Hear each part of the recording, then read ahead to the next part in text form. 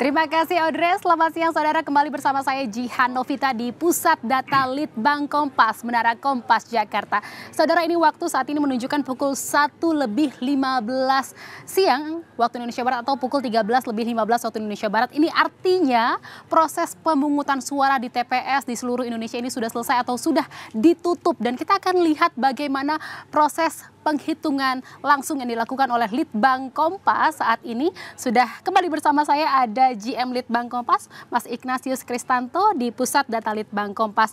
Mas Kris, ini waktu sudah menunjukkan pukul 13 lebih 15 Betul. waktu Indonesia ya. Barat ini artinya TPS sudah, sudah ditutup, ditutup, proses pemungutan suara juga sudah selesai. Artinya juga uh, pemungutan atau hasil penghitungan suara ini sudah mulai dilakukan. Kita bisa intip bagaimana hitung langsung yang dilakukan oleh Litbang Kompas saat ini.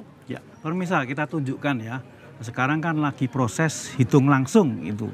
Nah, di sini kita coba lihat di eh, apa namanya hitung langsungnya itu hasilnya bagaimana. Ini kita Proses lihat dari dari 12 TPS tadi betul, ya, 12, 12 TPS, TPS tadi mm-hmm. yang sudah selesai kan di Indonesia Timur ya. Iya. Indonesia Timur. Coba kita lihat yang ada di Indonesia Timur sebarannya ya. Uh, ini mungkin dari TPS uh, eh, capres cawapres ini masih kosong ada, ya masih belum? kosong ya. Ya. Karena memang baru saja ditutup TPS-nya. Ya. Dan belum ini, mulai penghitungan suara, namun kita lihat untuk di wilayah ya. TPS yang lainnya, ini sepertinya sudah ada yang masuk. Ya. Ya, kita lihat di wilayah timur atau TPS wilayah timur bagian Indonesia.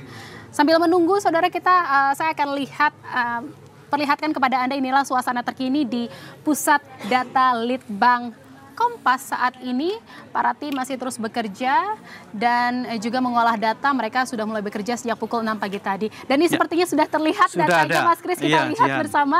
Iya, ini dia hasil TPS. Sepertinya hitung langsung yang dilakukan oleh Litbang Kompas ini sudah ada data yang masuk terkini kita paling lihat, timur ya. Paling timur. Ya. TPS paling timur wilayah Indonesia. Di Merauke tepatnya di perbatasan ya. Di wilayah Merauke perbatasan. Ya.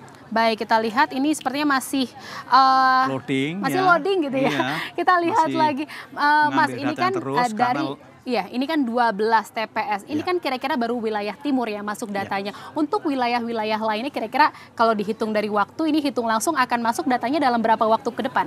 Paling satu jam. Satu jam ke depan. Ya, ke depan satu jam. Satu jam ke depan. Kita baik. coba lihat lagi ya. Kita lihat. Iya.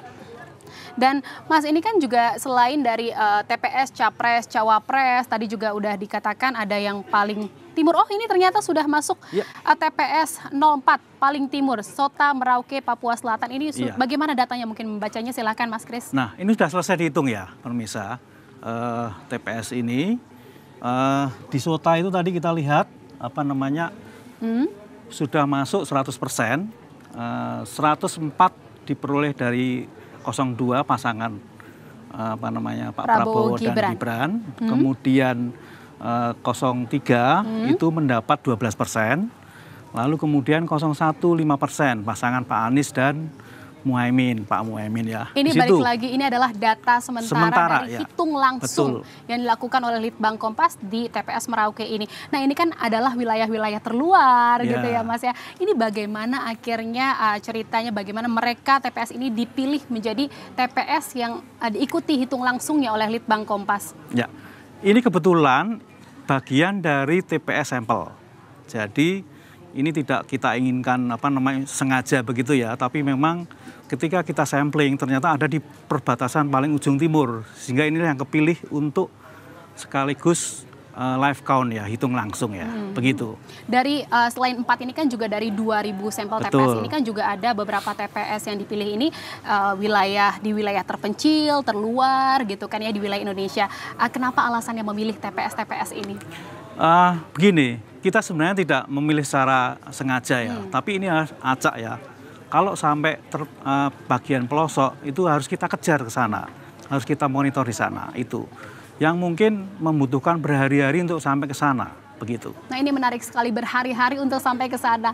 Nah ini tenaga survei yang didatangkan ke TPS-TPS yang terluar terpencil ini juga membutuhkan waktu yang juga tidak sebentar gitu ya. Apakah mereka uh, memang tenaga berpengalaman yang sebelumnya juga dilibatkan libat Litbang Kompas dalam melakukan survei exit poll di pemilu-pemilu sebelumnya apa bagaimana Mas Kris? Uh, sebelumnya memang mereka sudah berpengalaman. Tapi ada juga yang tidak pernah sama sekali. Nah, ini yang butuh pelatihan di sana.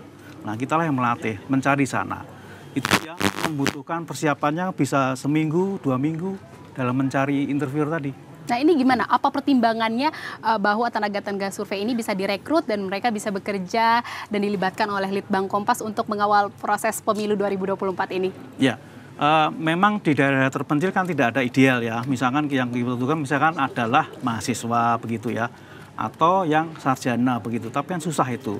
Nah, kalau misalkan ada guru yang kira-kira mampu, kita latih di sana.